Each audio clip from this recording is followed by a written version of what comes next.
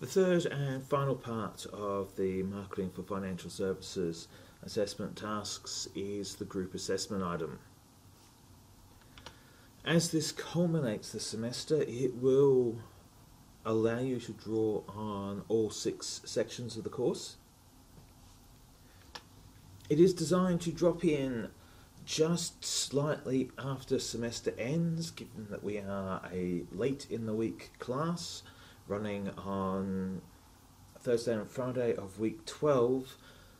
The decision was made to have the assignment come in the weekend following. We, after the weekend that follows our uh, last education event and last tutorial. The group project, because it will take the place of a final assessment task, you won't be getting feedback from it, you won't be seeing it, uh, the final grades for it, until after the uh, full marks for the subject have been awarded. So this one has a couple of specific things that I want you to do in the assignment. So I'm going to overview the task, but what I want you to be thinking about is that this group assignment links to the solo paper that you do. So you have some decisions to make in terms of how you work with others on the development of your individual assignment so that it works well for this group task. What you are asked to do is to pitch a product portfolio, and that is the solo products that you create, combining those together into a portfolio. You and your group mates bring together a portfolio of products that you pitch. You have a three minute video, you have a business canvas document, and you have about a thousand words to create your group assignment pitch. So three minute video, it's one part sales pitch, one part explanation.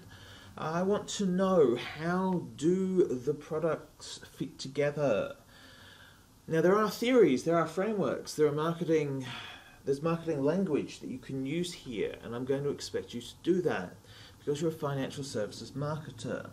You have to use the marketing frameworks and you have to explain why is it this set of products and here you have a choice really of is it one audience and multiple products, multiple products, multiple audiences, or the same product targeted to the same block of audience. So there are ways and means. There's a bunch of different ways you can do this. The video is going to consist of three minutes. Because it's a video, we're gonna know. We will know immediately if you're over time and we will penalise you if you are under time and we will penalise you if you're over time. So be on time. You will, in this video, just simply need to address the uh, pitch and there are no other requirements. It's up to you to have a little creativity, how you want to handle it, how you want to do this. But basically, explain the product portfolio, explain the theory that you've used to hook it together, explain the audience, explain the products. To accompany that, I'm going to ask you to submit a business model canvas for your product portfolio. And you will see here that there's a bunch of different elements involved and I'm going to expect you just to fill out a business model canvas. This is one business model canvas. There are many business model canvas out there. The maximum size that you can use is a PDF file of up to A3 in size because there are limits to how much data we want to read. A3 is your cap size for this and it's going to be a digital file submission. So fill in the canvas, fill in your business model canvas. Now some of you might be thinking, look, there are more justifications or explanations you want to make. Some things are hard to explain in video and easier to explain in writing. Some things for the business canvas could use justification support. So you have up to a thousand words. You have a brief explanatory document that can assist the business canvas, that can provide details or references. Any reference list would count separately to the business canvas. But basically, this is to give you some words to support your business canvas. So not everything has to be fit on the one canvas. Now, a key thing that you need to understand here in the technicalities is your group sizes can fluctuate.